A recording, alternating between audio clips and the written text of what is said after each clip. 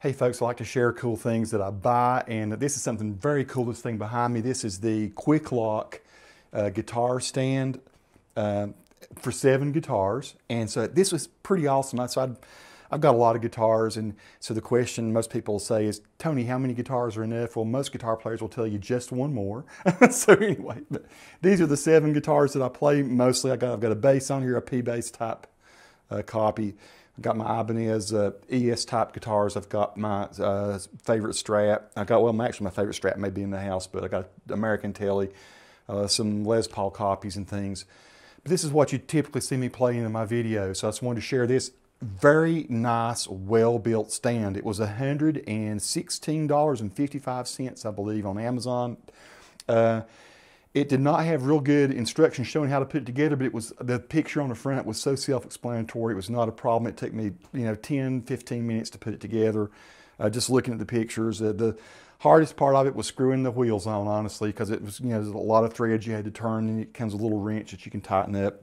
It did come with a couple of uh, a little felt pieces here that uh, it says to use if you have a vintage guitar. So these are like little felt that you can put uh, on these little rubber things.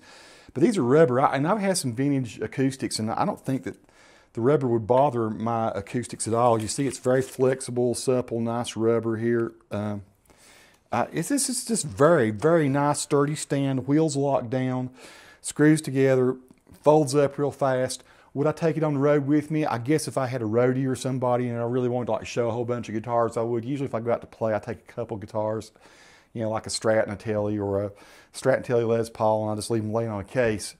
Uh, so probably I, you know, me personally, I'm not a road warrior, but I think this would be a very roadworthy, uh, uh, you know, piece of gear. It did not come with a carrying case of any sort or anything like that. Um, and, and, and so I'm, I'm, I'm, showing you close-ups of how the guitar's set in there. I have all uh, electrics on here, of course, now, but it would hold acoustics just fine. And you have acoustics and electrics on it. Seven guitars up off the floor, out of the way, no stress on the necks. Uh, very well constructed. Somebody, I, I, read one review that said that it wobbles in some way. Mine does not wobble at all. It's super sturdy.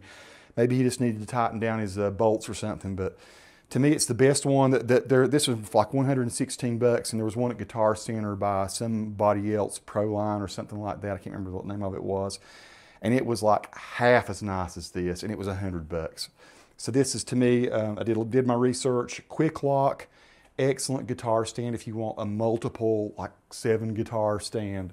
Highly recommend this one. I'm tickled to death with it. It's a, a nice solution for me to get some guitars off the floor uh, and I have some other favorite favorite ones that hang on the wall, but I kind of like this. I think I might even get another one and uh, find another spot somewhere out of the way. I like I kind of like this one up on top of this server out in my uh, studio. Peace to all who watch. Subscribe to my channel if you like. If you have any questions about it, let me know. I'll try my best to answer. Thanks for watching.